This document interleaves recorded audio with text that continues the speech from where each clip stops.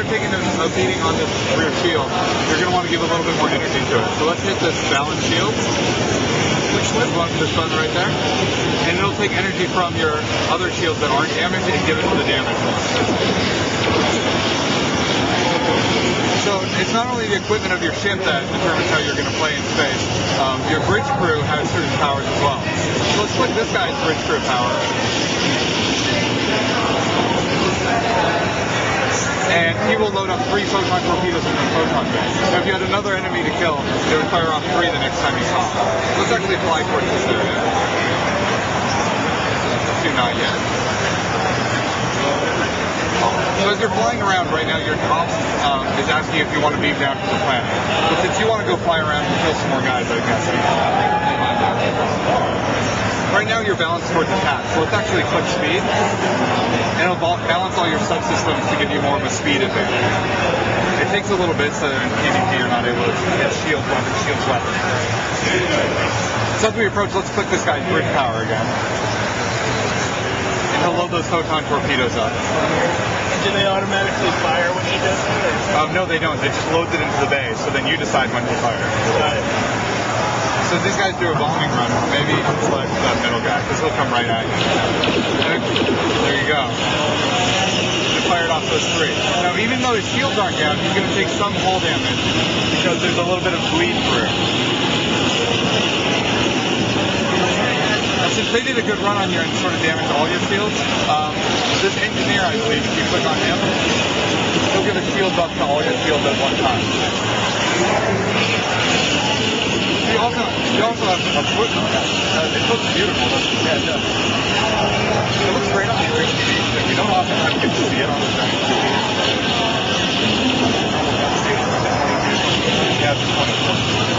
I played at home with my 1080p all the time.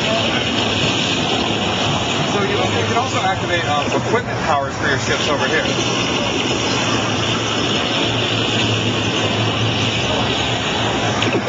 So that'll give you a buff turning radius um, as well as aiming and damage.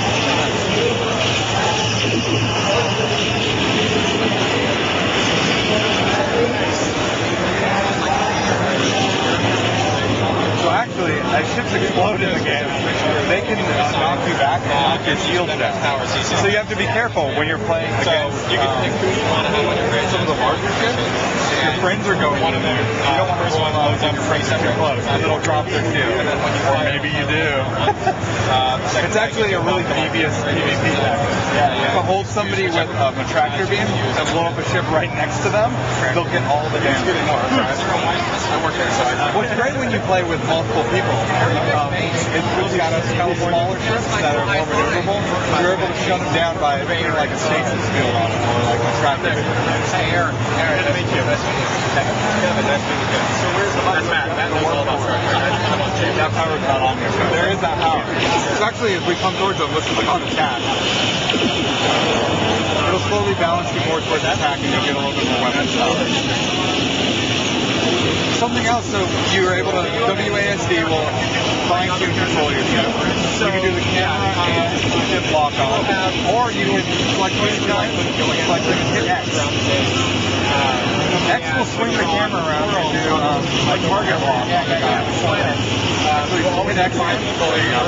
Now you don't need to worry about your camera at all. You can just worry about managing all your systems and your bridge. So all the ships in the game completely customizable for class, all their abilities. And you choose who on your crew you want to sit on your bridge. You essentially get to choose your spots, your one, your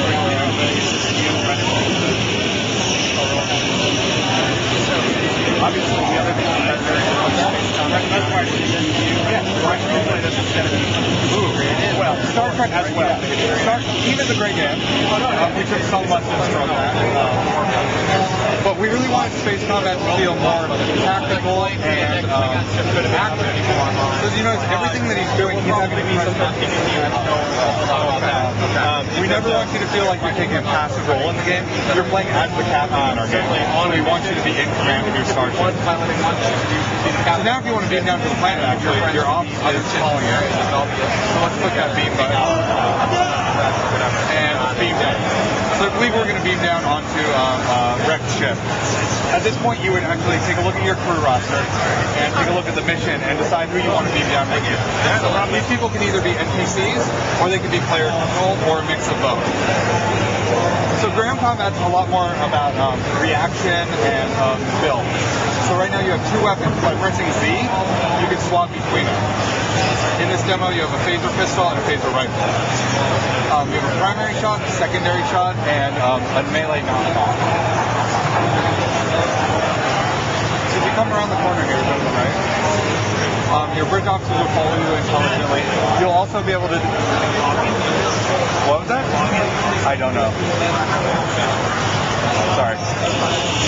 So, your bridge officers, you'll be able to give them specific commands like target my target, use your abilities, um, follow, be more active, be more passive. So the cool thing is you can stand back and you can play like maybe a support role while your whole bridge crew goes and takes the beat. I'm, I'm assuming we'll have a mini map in the future, just the current It's not one, or is there going to play a mini map here? There is a mini map. Um, I believe we turned it off for the demo. So if you switch back to your rifle, um, switch hit that five button. That's one of your personal abilities. To turn on a targeting sensor, and it'll give you a damage and aiming bonus. We'll also have a full melee um, ability, so instead of having a rifle and a pistol, you'll be able to choose rifle and melee. Okay. Or a pistol and melee. So something I like to do is take a phaser pistol with me, and as the Klingons are running stun them all, and run up and do combos and phaser attacks see, they're dropping loot, so we're going to have loot and items in the game as well. So one of your bridge officers wants you to be